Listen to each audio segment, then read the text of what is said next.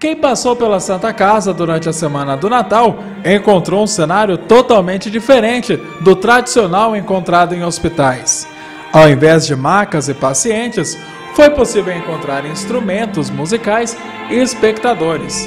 A atividade com música faz parte do trabalho de humanização realizado na Santa Casa.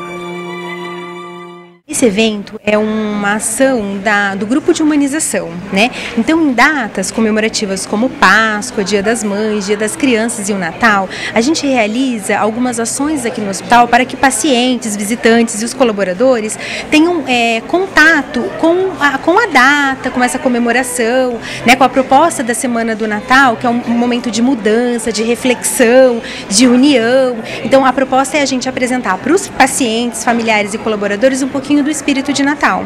Na semana do Natal, foram desenvolvidas várias atividades para lembrar o espírito de Natal e além de animar os pacientes da Santa Casa. Gente percebe no olhar dos pacientes, entendeu? Dos visitantes quando eles chegam ficam até surpreendidos com as apresentações, porque o hospital ele é um local onde habitualmente a gente não observa, né, esses tipos de apresentação, música. Então a gente observa no olhar dos pacientes o quanto eles gostam e eles prestigiam as apresentações.